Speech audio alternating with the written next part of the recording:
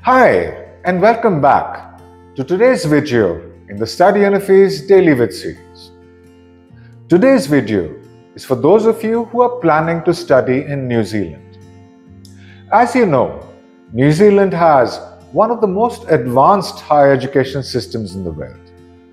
Today, we'll be looking at a unique advantage of studying in New Zealand. How, after your studies, you can get a post-study work visa and eventually permanent residence. After you complete your studies, you are eligible for a post-study work visa. To become eligible, all you have to do is complete a level 7 course. Level 7 courses are diplomas, bachelors and masters. So if your course, according to the New Zealand qualifications framework, is level 7 or higher, then you are eligible to apply for a post-study work visa. Once you get your post-study work visa, you can call your immediate family too. Your spouse is eligible for a work permit.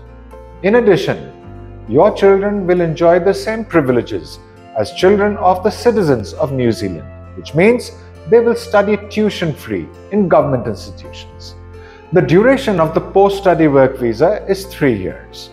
Before you complete your post-study work visa, you can also apply for permanent residence to New Zealand. To apply for permanent residence in New Zealand, first you have to fulfill the health and character requirements. Next, check whether you have 100 points or not on the New Zealand points system. Most graduates who have done a level 7 course or higher will easily be able to gather 100 points. After this, you will have to submit an expression of interest to Immigration New Zealand. Once your expression of interest has been approved, you will get an ITA. ITA is an invitation to apply for PR. Once you have applied for a PR, you can submit a resident application and then obtain your residency. Thanks for watching this video.